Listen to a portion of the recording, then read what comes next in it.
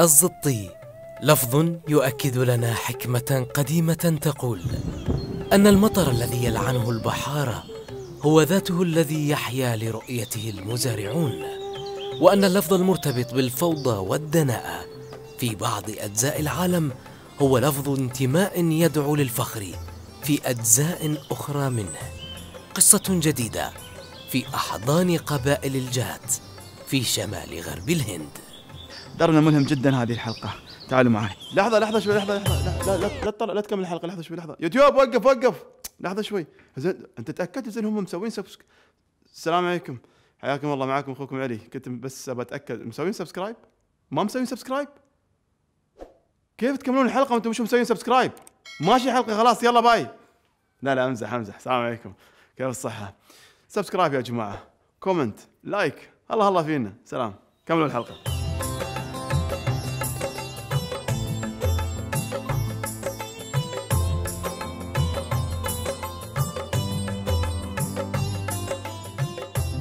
السلام عليكم.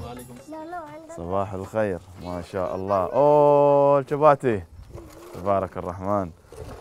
الجو بارد الجو بارد لكن الأمور طيبة إن شاء الله. شباتي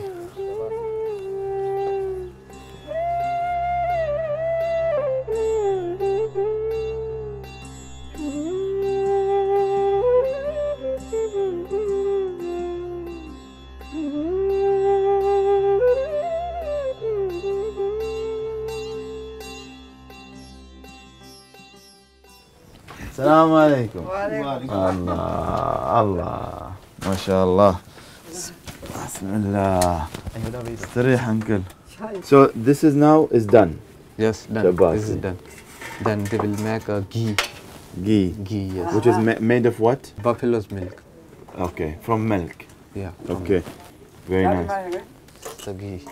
Ah, salmon, salmon, oily.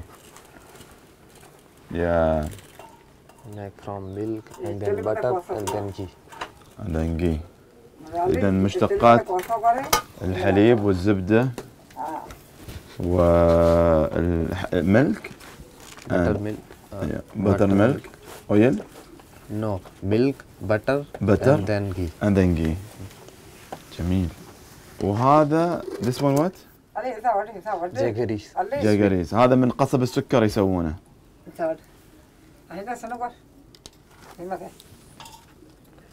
سبحان الله. يعني كأنك جالس تحط جبنة وزبد. وايد. مر زين إن شاء الله إن شاء الله. هي تبغانا نحط زيادة. نحن نبغى نجرب. تمام؟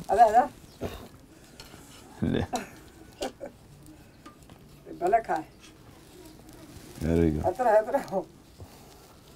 Tell her I want to taste it first. Like this? Yeah. الحين ياسر تقول ليش مو احسن يحطون وايد؟ لازم يحطون وايد. And then what do you do? بسم الله.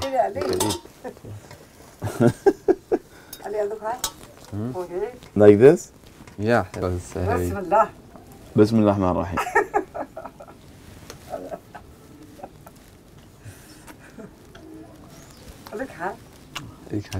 ما شاء الله. ما شاء الله. ولك. تبارك الرحمن. Oh my God It's very tasty ما شاء الله ما شاء الله. آه. ما شاء الله ما شاء الله يا جماعة لذيذ. الحين فهمت ليش آه، سويت ليش حاطين قصب السكر. جميل تبارك الله لذيذ تبارك الرحمن.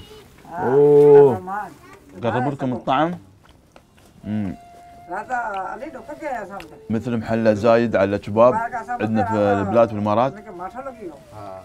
وجبة صباحية على الإفطار الكباب شوية عسل. روعة روعة لذيذ لذيذ لذيذ. جزاك الله خير.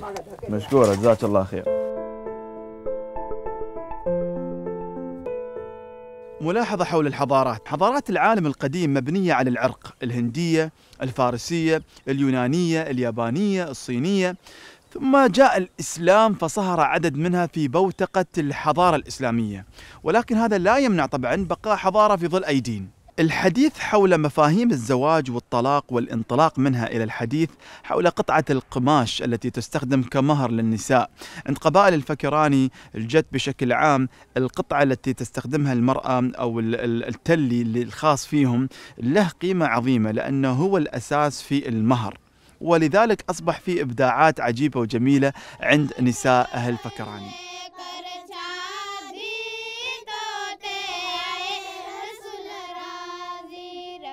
बाबा है मीनन वारी टोपी गोट भल्ले कर शादी तोते आए रसूल राजी لكن هذا ما اشتهرت به نساء اهل فكراني من من قبائل الجد وتجدهم كلهم يلبسونه. وعلى فكرة ترى هم مو يعني هذا يعني هذا مو بلابسيننا عشاننا هم لبسهم شيء وفي المدينة نجد طبعا ال- ال- النساء لابسين اللبس العادي المعروف عند أهل الهند سواء كان الساري أو غيره أو مثلا المسلمين أو البنجاب وغيره الكل له لباسه.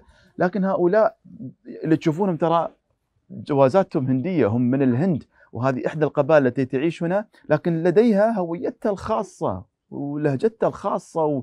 وطريقة يعني تفكيرهم ومعتقداتهم وأسلوبهم في التواصل كل شيء خاص فيهم؟ الآن طبعا الأخت بتحط قطعة البولي في الأنف. شوفوا طبعا هم داخل الأنف في في فتحة. أوه. تمام. it's movable it's آه حتى هنا الحاجيه شوفوا كيف مسوية. حاطة من من داخل. what is it made of gold من الذهب. doesn't hurt her if it moves it's not uh, hurting. غنيتي غنيتي طلعته هاي القطعة اللي تشوفونها هذا كامل ممكن يتحرك داخل الأنف. من هني لهني. تطلع من هذه الجهة لهذه الجهة. طبعا هم عشان يقدرون يتأكدون أن الفتحة طبعا آه، تبقى مفتوحة وما تتسكر مع الوقت فيظل معاهم منهم صغار ويكبرن. The girls they, these girls will be they will do this to them. They will do. she has she has a hole oh wait wait. بسم الله شوفها صغيرة. بادي. أوه دخلتها والله. أوه قوية ما شاء الله.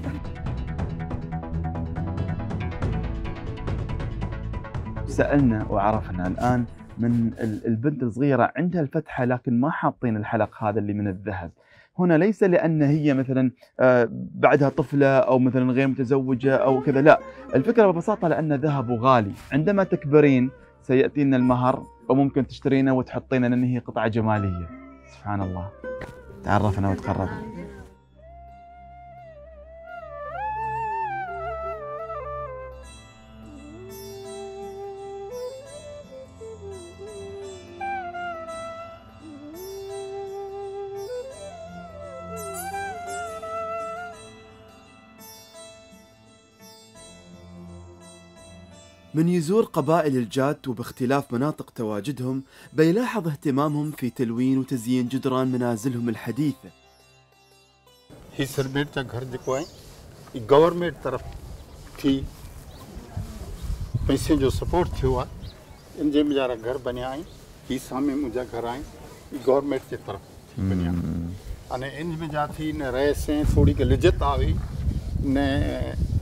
तो उन जे असली जेको असांजा घर हुआ असांजी झूपड़ियूं हुयूं इन में जा असांजी फैमिली बच्चे औरतें ई हिन तरफ़ झुकी हुई أيوة لكنهم لا زالوا محافظين على طريقة بنائهم لمنازلهم التقليدية وكالعادة وكحال القبائل والشعوب حول العالم يحرصون دائما على البناء من المواد الطبيعية المنازل اللي في القرية هاي اللي نحن فيها الآن تشوفونها من الاسمنت وغيره واضح في بعضها بنية من خلال الحكومة وفي بعضها بنية من خلالهم والبيوت اللي اللي هم بانينها أجمل بصراحة آه، لأن حطوا فيها لمستهم الخاصة.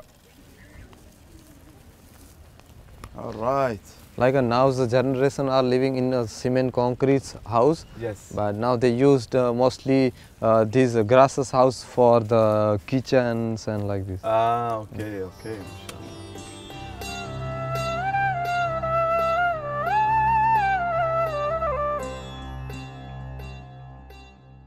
الواحد لما يشوف هذا النبات الان يطمن يعني يقول ما شاء الله نبات نظيف وجميل وما في أي مشاكل ما في أي تحديات.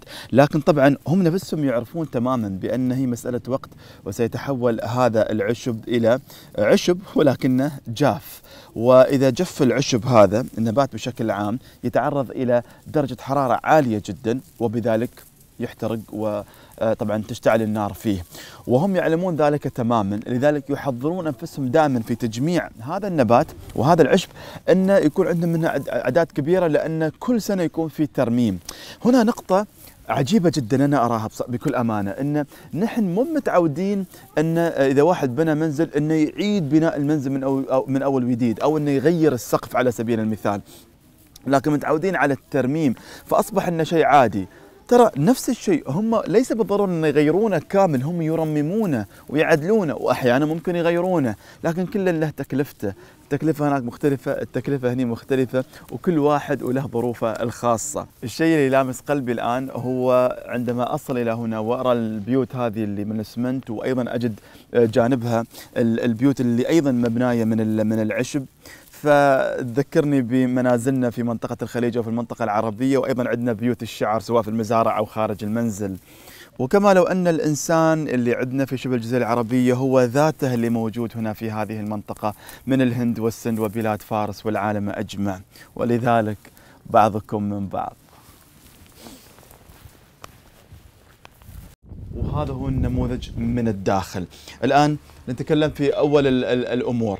السابق ما كان عندهم السمنت ما كان موجود كانوا يضعونه على طول على ال- الأرضية اللي موجودين فيها ولكن يقومون بتنظيفها. وضع بعض الصخور أو الحجارة ويضعون فوقهم من نوع من الحصير على سبيل المثال. طبعا صار عندهم أخشاب اذا هذا من الخشب بسم الله الرحيم. وهنا عندهم ال- ال- الخشب اللوتات الكبيرة هذه اللي طبعا يسوون فيها مثل الشكل المثلث فيضعون التشنكو هذا الآن في السابق كان عبارة عن القش المضاعف ويحطون عليه أيضا مثل الطين ولكن أصبح الآن إنه من الأعلى فيه القش وتحته طبعا فيه التشنكو ليش؟ بسبب الأمطار.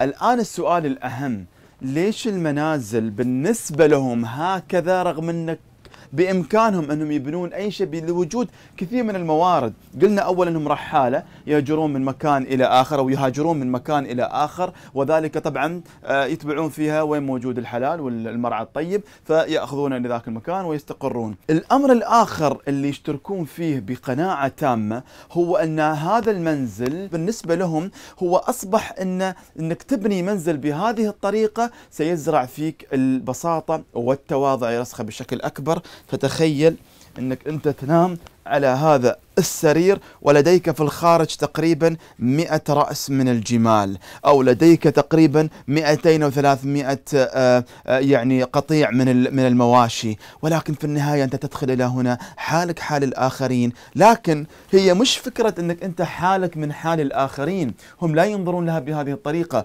هم يؤمنون بأن هذا البيت المتواضع كفيل أن يرسخ قيمة التواضع عندك. فعندما تنهض الصباح ما عندك أشياء كثيرة.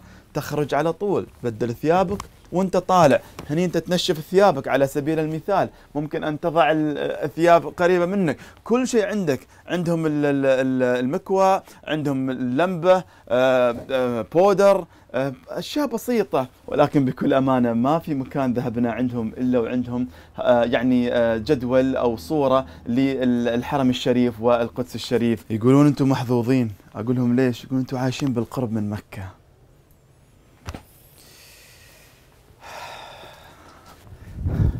فإذا هذه غرفة النوم. صحيح. وهنا المطبخ.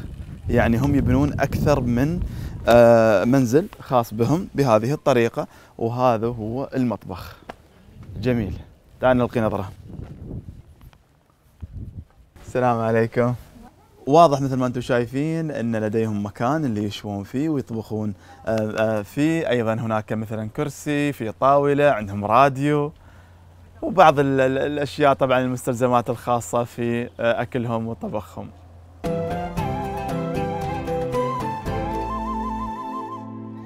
Let's go.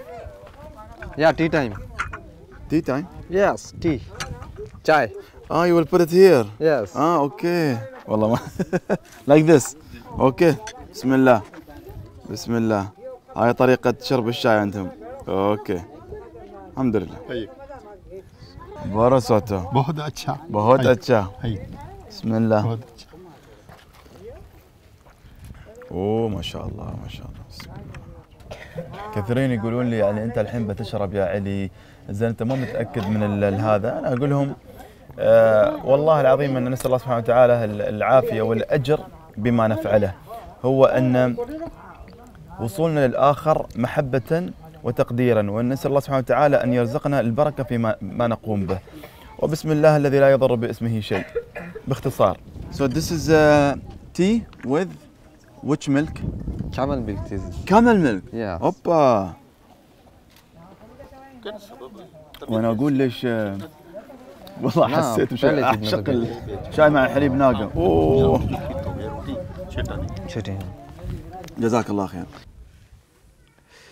والطير صادحة على أفنانها تبكي الربا بأنينها المتجدد قد طال تسهيدي وطال نشيدها ومدامعي كالطل في الغصن الندي فإلى متى صمتي كأني زهرة خرساء لم ترزق براعة منشدي.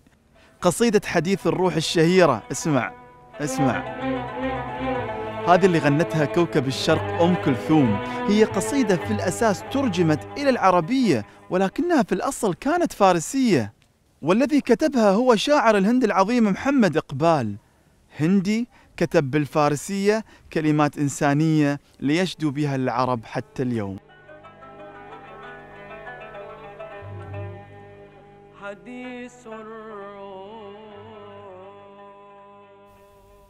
ما أجمل هذا الحيوان الصبور. تسير قوافله بجميع الأشكال والألوان بيض وحمر وغرابيب سود دون أن تتفرق أن تنأى ببعضها عن بعض. وحده الإنسان يصنع لنفسه حدودا وهمية. في هذا الدرب رأيت فرسا في الهند ولي درب آخر لن يكون أقل غرابة. بعثرت فيه حروف الفكيراني فتشكلت كلمة جديدة الكافيرز أفارقة في آسيا.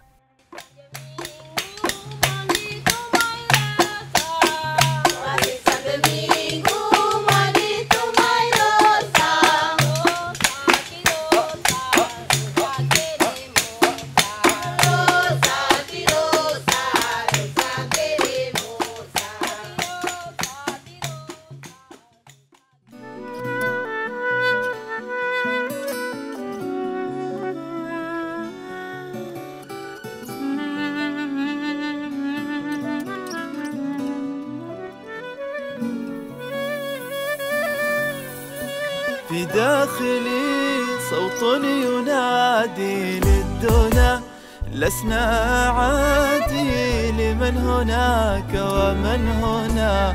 في داخلي صوت ينادي للدنا. لسنا عادي لمن هناك ومن هنا؟ قد تختلف ألواننا أدياننا أوطاننا والألسنة لكننا أبناء آب واحد والأم أيضا واحدة. مهما تفارقنا الدروب ودروبنا متباعدة. سنعود للبيت القديم سنعود للحضن القديم سنعود للبيت القديم سنعود للحضن القديم. أنت أخي أو شئت قل أنت أنا.